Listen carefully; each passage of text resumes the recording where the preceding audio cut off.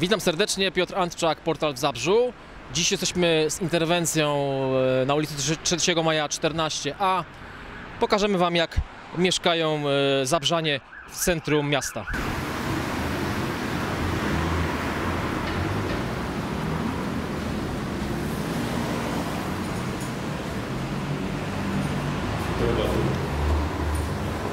Jaki numer?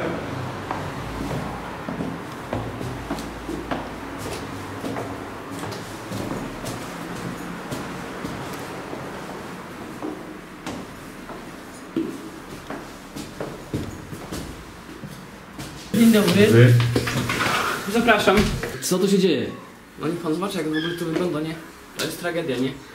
To albo no prosimy się, żeby nam po prostu wy... zrobili, naprawili dach, nie?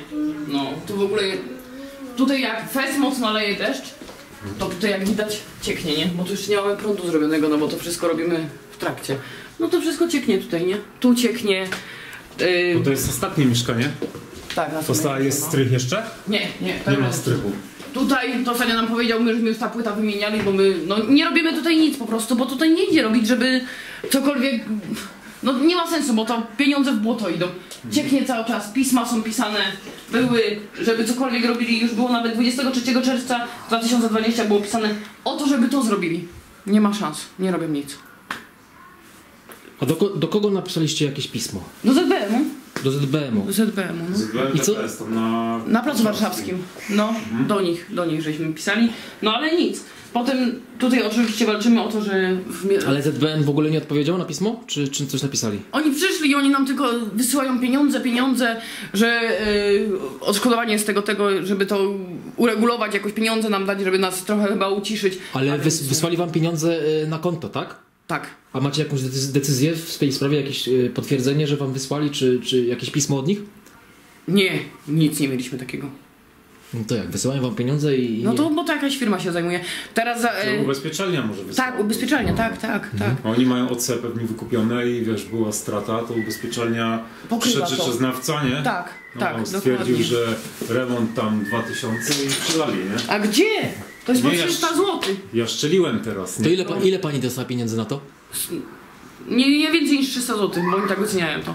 A teraz zaś mamy przyjść rzeczoznawca do drugiej sprawy, co jest w pokoju, ściany są popękane. Drugiego ma przyjść znowu, znowu facet jakiś i ma niby wycenić, yy, ile ta ściana będzie warta, nie w ogóle. No niech pan zobaczy.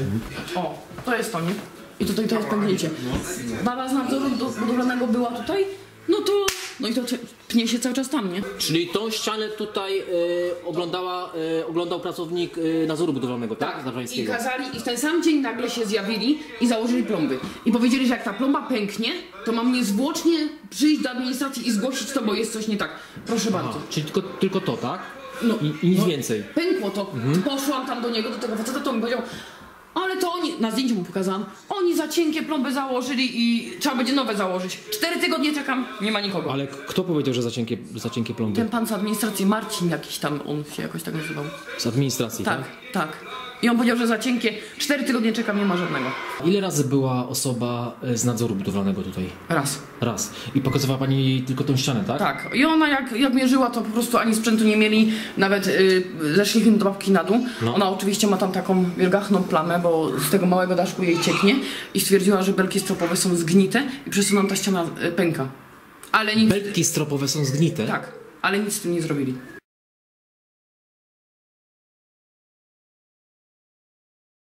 Stan prawny nie jest uregulowany w ogóle. No ale kto jest właścicielem mieszkania? No nie ma właściciela, oni szukają właściciela i sprawa następna będzie y, w 2035 roku, tak y, w Urzędzie Miasta. 35. Tak. Czy w Następ- 25? Nie, 35. Za 14 lat. Tak. Będzie sprawa następna. Następna sprawa.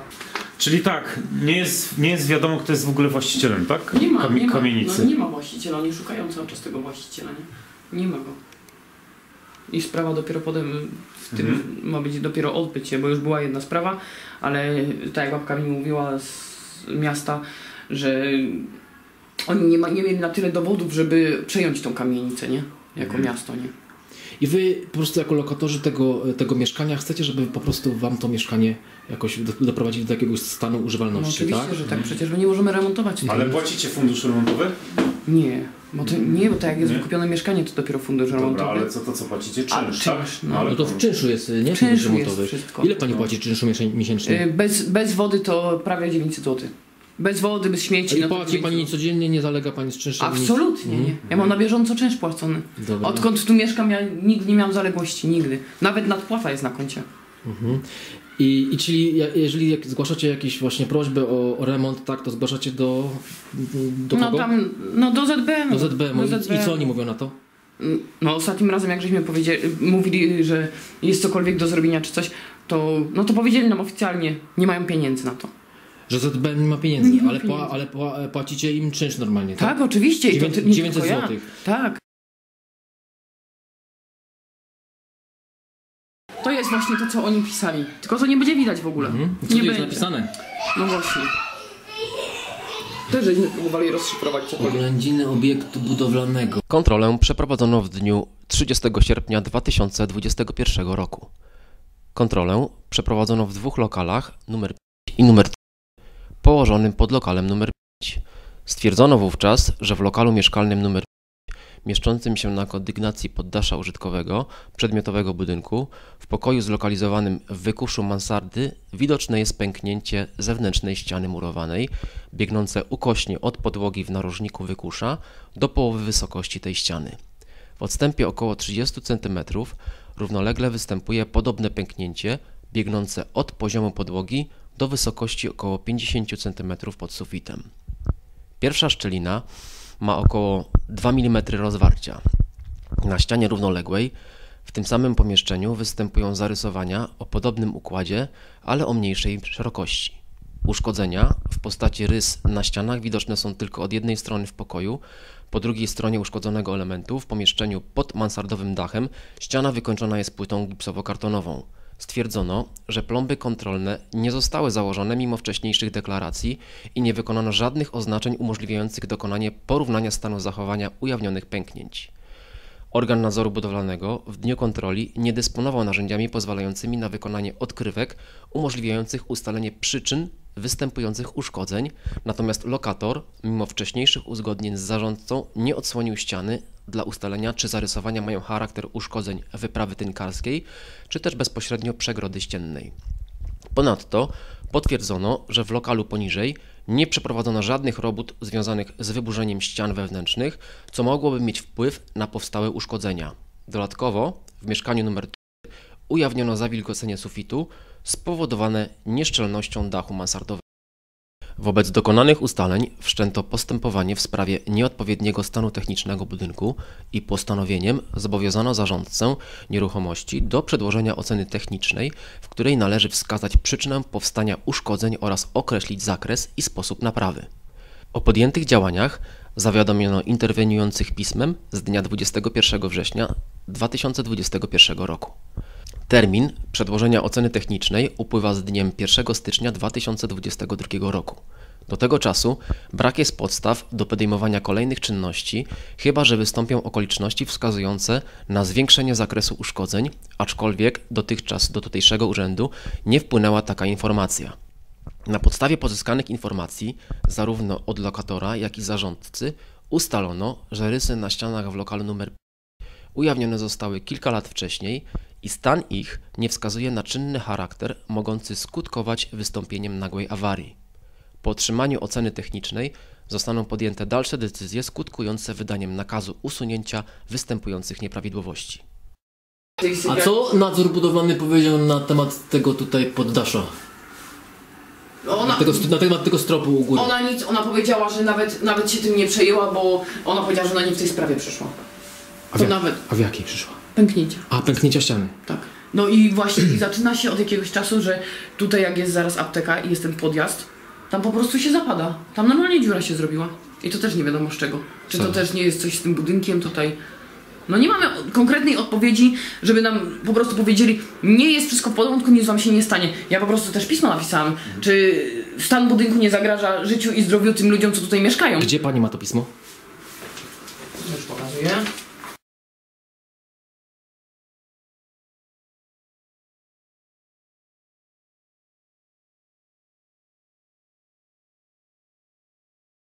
Ogóle pismo, które pisałam w 2019 roku oczywiście.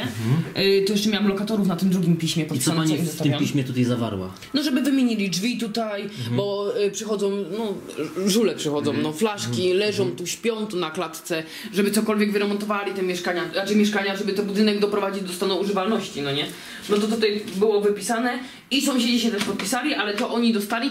Do dzisiaj nie mam ani na te pismo odpowiedzi, ani na te, bo stwierdził ten y, pan z administracji, stwierdził, że dostałam, dostał mój mąż odpowiedź ustną.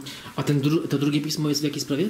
Jeszcze raz? To też żeśmy się zwracali, żeby cokolwiek też tutaj robili, nie? I nie dostała pani odpowiedzi Nie. pisemnej na to, Nie, tak? do dzisiaj nie I, I co pani powiedziała w, w, w, bo to do... Do administracji. ZBM-u, tak? To było do administracji, Do tak, do administracji. ZBM-u, I tak. co oni powiedzieli, że co? Że, że mąż dostał co? Ustną odpowiedź, bo on poszedł i po prostu już nie wytrzymał i musiał no, pojechać po tym Mhm, facecie, nie? A balkony tutaj, przecież ta, ta jedna, tu jest jedna, na, na parterze balkon zarwany jest. Pode mną babka ma dziurę, że już po prostu nie wchodzi na ten balkon, bo się boi, bo wie, że wleci. Jeszcze raz pani powie, co, co z tym balkonem się stało? No pan tutaj przyszedł, e, żeby zamontować e, ogrzewanie gazowe i chciał wyjść na balkon i po prostu wpadł tutaj. Padł. Tak, wpadł tutaj. No tu była piwnica, to niech pan zobaczy, co oni, co oni z tym zrobili. Poprzykrywali to, a tu jest szczury, jeden na drugim tu łażył. Wszędzie. E, to tak zabezpieczyli, tak? No to jest zabezpieczone, właśnie.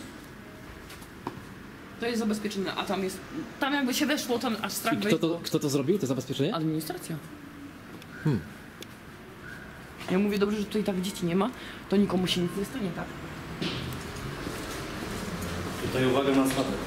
Na co? Na schody. No. No to w ogóle jest, już całkowicie porażka jest na tej praktyce. Tu jeszcze jest fajnie. Tu Jest fajnie ze względu na to, że tutaj jest pani adwokat. no, to jest fajnie. To tu jest fajnie. Tu jest wyremontowane, tu jest zrobione. Gdzie mieszka pani adwokat? Na tym piętrze?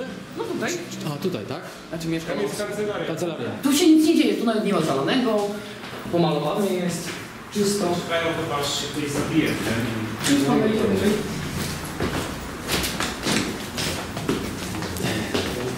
Ja to zaraz pójdziemy do nie? Ty teraz. No to dobra. Powiem jej, będzie wszystko widać. wygląda masakra, nie? Chyba, że nie ma nikogo. O. Dobrze. No. Aż czuć, nie? O Jezu, tu śmierdzi. No, no czuć. I tu ludzie mieszkają z dziećmi. To jest po prostu tragedia. I jak, zgłaszał to pan, tak? No, dzisiaj byłem. Dzisiaj pan to zgłaszał i co panu powiedzieli? Wizje lokalne będę miał w przyszłym tygodniu. Ale to oni tak cały czas zbywają ludzi, nie? Panie co, A tu nad panem jest mieszkanie, nie? nie, nie, Jeszcze? zbędą, nie, nie zbędą. Jest tu jeszcze Ale mieszkania? Są? ja już tyle razy zgłaszałam i Ja raz zgłosiłem, a to wcześniej leci naprawili. naprawili, naprawili, ale dobra, a strofowe co? mieszkania i... Na górze są puste strony już teraz A. po prostu. Co, do tego wszystkiego nie wymienią, to nawet nie ma szans. No nie no, ale to jak to wygląda w ogóle? Oni tak... Ale pierwszy raz to pan zgłaszał, czy pan już kiedyś wcześniej to No to już zgłaszał? od 8, od 8 lat już tak, jak ja tu mieszkam. Ale zgłaszał pan to wcześniej? Tak, nie raz. I co panu wtedy mówili? Przyszli, coś tam poprawili i tyle, nie? I 8 lat to tak jest. No, Co teraz, chwilę- te, teraz się pogorszyło po ostatnich ulewach, tak jak u Mateusza tutaj, u sąsiada. Ma zalane pół mieszkania.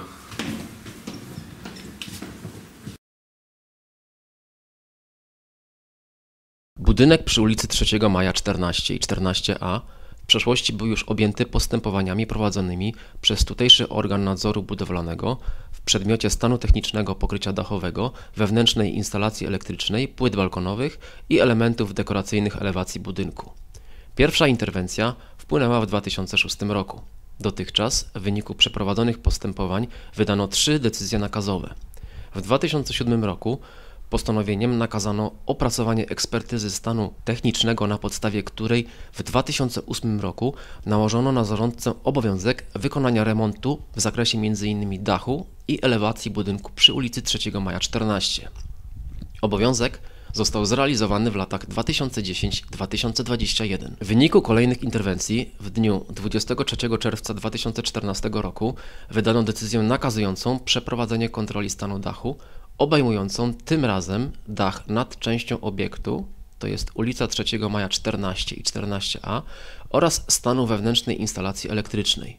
Jednocześnie kolejną decyzją nakazano usunięcie nieprawidłowości występujących w lokalu 14 przez 7 w związku z uszkodzeniami powstałymi wskutek długotrwałych wcześniej występujących nieszczelności pokrycia dachu. Na podstawie przedłożonych opracowań w dniu 18 lipca 2014 roku wykonano kolejną decyzję. Nakaz wymiany wewnętrznej instalacji elektrycznej w częściach ogólnodostępnych oraz we wskazanych lokalach mieszkalnych. Obowiązki wynikające z wyżej wymienionej decyzji zostały wykonane. Czynności w zakresie kontroli utrzymania właściwego stanu technicznego nieruchomości były prowadzone również w czerwcu 2020 roku w związku z interwencją złożoną w sprawie uszkodzonego nadproża nad drzwiami wejściowymi do oficyny budynku oraz nierównym podłożem podwórza, która wpłynęła od osoby postronnej nie będącej mieszkańcem budynku.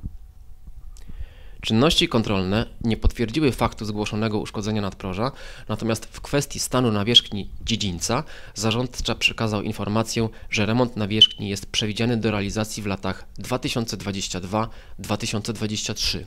O wynikach przeprowadzonych czynności kontrolnych poinformowano interweniującego. Ponadto w listopadzie 2020 roku w jednym z lokali budynku pod adresem 3 maja 14 doszło do pożaru, w wyniku którego uszkodzony został strop pomiędzy kondygnacjami. Wówczas również organ przeprowadził czynności kontrolne w zakresie utrzymania budynku. Prace naprawcze zostały już wykonane, a protokoły przedłożone przez zarządcę po przeprowadzonych naprawach potwierdziły zdatność obiektu do dalszej eksploatacji i nie wykazały uchybień wskazujących na występowanie zagrożenia bezpieczeństwa użytkowania budynku.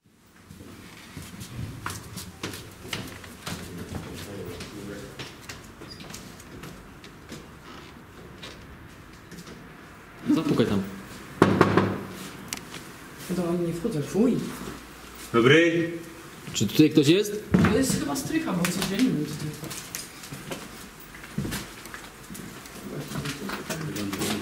Czy to jest taki pustostan, tak? Tak. No ale nie. Tam dalej nie wchodź, bo tam te dechy są takie chyba pognite. Czyli nie wchodzi. No bo te folie to są porozkładane z tego, bo cieknie, tak?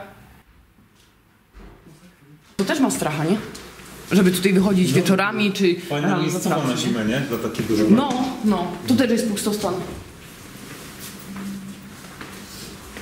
W ogóle jak to jest? O, i tu się zaczyna właśnie. Wszystko. I tu też jest pustostan.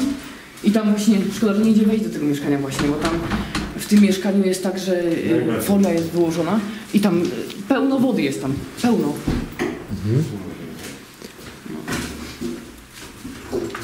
Tu proszę zobaczyć, jakie piękne Chodź Piotrek tutaj. Chodź zobacz. Jakie grzyby tu rosną. Proszę zobaczyć, o, z kapeluszami. No to jest tragedia. No, normalnie grzyby rosną. Niech pan zobaczy tu, jaki ten sufit wygląda. A nie wiem, czy ta babka jest w domu, zaraz ją zawołam. Chodź tu zobacz. Piotrek. Nie wiem, który to dzwonek, Tu chodź. bo ona też... No, zobaczymy. Dzień dobry. Dzień dobry, my z telewizji Przyszłam. chcieliśmy zobaczyć tutaj te mieszkania. No wie pan co, no mieszkanie moje to jest dość ten. Można? Jest, my ciągle robimy remont. Tu jest e, zalane, Ciągle zalewa wam sufit, tak? no, a łazienka i kuchnia to jest najgorzej, bo my se tu sufit podniżyli, tu my se sufit podniżyli, tu leciało ciurkiem, to zrobili, a tak ciepali papą, e, że w łazience mi leci teraz do wanny. A sąsiadka jeszcze, bo my mamy wspólny przedpokój, sąsiadka mu nie ma jej akurat, bo wyjechała na parę dni, tak to wygląda. No. I ona w domu też tak ale akurat wyjechała na parę dni. Mi sufit w kuchni spadł cały. Ja taką dziurę miałam, sufit spadł, e, oni to mają w nosie. A to jeszcze nic, no ja panu powiem jeszcze lepsze. Szczur weszedł, ja panu pokażę na korytarzu. Szczur se weszedł e, przez, przez te pomieszczenie. Weszedł mi do mieszkania, poszłam po administrację, proszę zobaczyć jak tu pięknie wygląda. I to się łączy tu z moją kuchnią, a tu z łazienką. Tu szczur weszedł do mnie do mieszkania, poszłam po, do administracji, to wie pani co on zrobił? Wrzucił dwie kostki na szczury i mi powiedział tak, niech mąż to zaklei. Ale jeszcze raz. Przy... No, przyszli, zobaczyli, wrzucili dwie kostki na szczury, zostawili tą dziurę i powiedzieli, no wie pani co, niech mąż to zarzuci, bo to nie będzie wchodził. W administracji. Tak, administracji. tak, tak. No a tutaj... A to jeszcze- jest Zatkane, a bo ten szczury kibel? też wyłażą, nie? No a ten kibel, no to mąż wziął takie coś, to tu porzucał, no bo jego to może one przez tę, przez tą muszlę chodzą. Szczury latają normalnie po klatce. A to jeszcze nic, ja panu pokażę ale jak śpią tu bezdomni. Mój mąż ma to wziąć i zrobić, no jak on ma to zabić? No przecież od tego jest administracja, ludzie. Takie szczury tu latają, wielkie po całej klatce. Jak można 16 lat czekać na mieszkanie socjalne? A, czy, a czynsz najlepiej brać? No, I nic nie robić, nic. Nie. A przecież jak my chcieli, żeby nam zrobili domofony, to oni powiedzieli, że ten, że to jest mieszkanie z gwiazd, e, dom, dom z gwiazdką, oni nie będą tu nic robić. Tu ludzie nie płacą za czynsz, tu inne dwie osoby nie płacą za czynsz. Pani, ja, pani płaci. Nie, ja nie płacę, bo ja nie będę płacić za to mieszkanie, ja im powiedziałam. I sąsiadka z dołu, która czeka na socjalne. I nie będę płacić za co. Jak sąsiadka ma małe dzieci, a tam szczury latają jej po mieszkaniu. Hmm. A tu żule mnie. Tu A tu, tu e, koc i se tu śpi żul.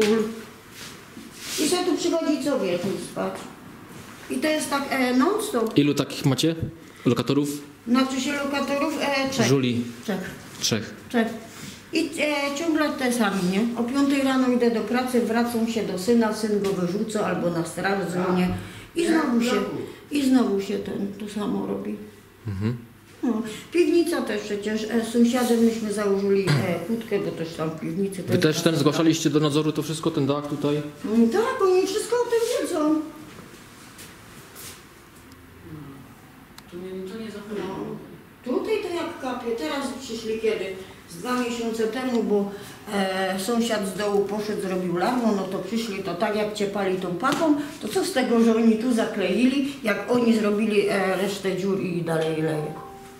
No. No jak ta folia tu była rozłożona, No. bo przecież lało się, nie? No, tu folię rozłożyli, tu się lało. Ja mówię, i to tak zostanie ta folia, e, przyjdzie słońce, to zrobimy dach. Moja synowa szła z dzieckiem dwumiesięcznym, jakby mój syn za nią nie szedł, to ona się zabije na tej wodzie.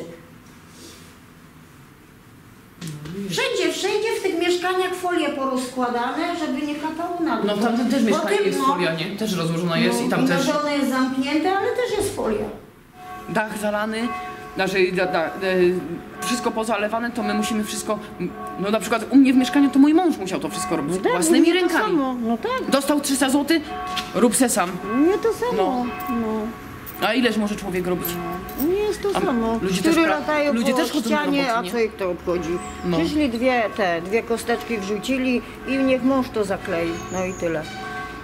Ich to nie obchodziło, czy ten szczur tam dalej jest, czy go nie ma. Ich to nie obchodziło. No, no. A u nas też ile razy z- zgłaszałam, że e, szczury latają po piwnicy, potem mówiłam, żeby przyszli, bo my żeśmy na własną rękę, żeśmy trutki dawali tam do piwnicy, No. żeby je jakoś pozabijać, te szczury. To potem, ja mówię, zgłaszałam za następnym razem, proszę przyjść usunąć szczury. No to oczywiście się nie szło doprosić po miesiącu czasu. Ktoś się zjawił, to biedne sprzątaczki bez rękawiczek sprzątały i zbierały te szczury i Tak. sprzątały piwnicę. No u góry Tak. też przecież. Tak było. Zdechłe były szczury na tych pustostanach, to nasza dozorczyni to sprzątała. No. To Nic jest, nie robią.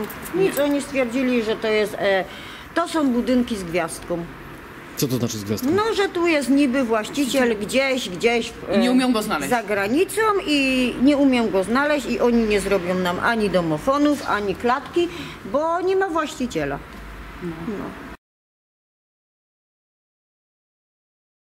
Stan prawny własności nieruchomości od śmierci właściciela w 1953 roku jest nieuregulowany. Na podstawie decyzji administracyjnej z dnia 23 stycznia 1965 roku budynek został przekazany w administrowanie ówczesnemu zarządcy nieruchomości gminnych, Miejskiemu Zarządowi Budynków Mieszkalnych. W uzasadnieniu decyzji wskazano, że po śmierci właściciela z uwagi na to, że spadkobiercy zamieszkują na terenie Niemiec, sąd ustanowił kuratora. Kurator przekazał budynki w administrowanie Zrzeszeniu Prywatnych Właścicieli Nieruchomości w Zabrzu, które do dnia 30 grudnia 1964 roku sprawowało zarząd nad nieruchomością. W styczniu 1965 roku ZPWN w likwidacji wezwało kuratora do odebrania obiektów administrowanie, ten zaś nie przejął ponownie nieruchomości, wobec czego Prezydium Miejskiej Rady Narodowej w Zabrzu zarządziło przejęcie nieruchomości w administrację przez MZBM w Zabrzu. Do dnia dzisiejszego stan nieuregulowanej własności utrzymuje się i żaden podmiot, Z powodu przekształceń obecnie jest to ZBM TBS spółka z ograniczoną odpowiedzialnością. Przejmujący nieruchomość w zarządzanie ani też gmina nie podjęła działań w celu doprowadzenia do uporządkowania tego stanu rzeczy. Z tego powodu podmiot zarządzający budynkiem ma ograniczone możliwości do ponoszenia nakładów na remonty i koszty utrzymania nieruchomości może pokrywać jedynie ze środków pozyskanych z budynku. Tym bardziej brak jest możliwości wydatkowania środków na przeprowadzenie modernizacji i wprowadzanie ulepszeń w budynku, wypełniając de facto rolę administratora. Zadania zarządcy od wielu lat sprowadzają się jedynie do utrzymania budynku w stanie niepogorszonym i dokonywania napraw w niezbędnym zakresie. Jeżeli ktoś z Państwa odniósł wrażenie, że nasz materiał kręciliśmy w jakimś getcie w Somalii lub w obozie dla uchodźców, niestety musi zderzyć się z rzeczywistością. Jesteśmy w mieście Zabrze, w Zabrzu, w centrum Zabrza, na ulicy 3 Maja i mamy rok 2021.